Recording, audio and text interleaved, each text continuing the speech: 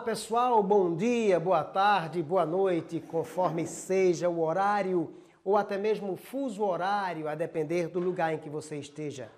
Eu me chamo Nerisvaldo Alves, eu sou professor, arte educador e professor de literatura de cordel. E hoje a nossa dica de cordel será sobre o aboio. Você já ouviu falar no aboio? Pois é, olha só. Muito interessante. O aboio é um canto de origem árabe que surgiu nos campos do deserto, na atual região do Oriente Médio, por volta do século 11 ou 10 antes de Cristo.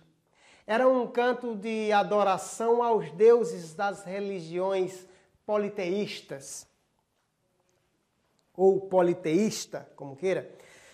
No Egito, se destacou no governo do faraó Miquerinos, cantado pelos seus súditos em adoração. Os fenícios foram os verdadeiros responsáveis por levarem a cultura do aboio para os gregos e os romanos, devido eles serem os primeiros navegantes na história, da qual temos registro, né? Isso por volta do ano de 600 antes de Cristo. Conta-se que no ano de 753 antes de Cristo, data da fundação de Roma, um coral entoou um canto para agradecer a Rômulo pelo empenho em fundar aquela linda cidade. Em homenagem aos seus antepassados, às margens do rio Tibre, próximo ao Monte Palatino.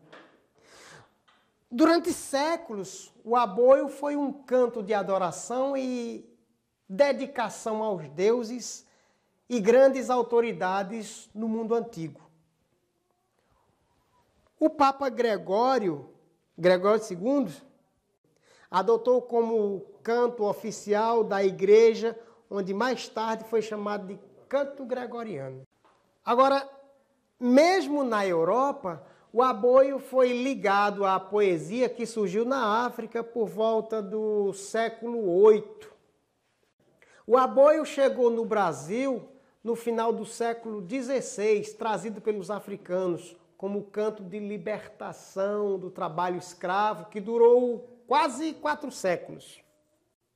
A poesia foi trazida em folhetos onde narrava a história do rei Dom Sebastião.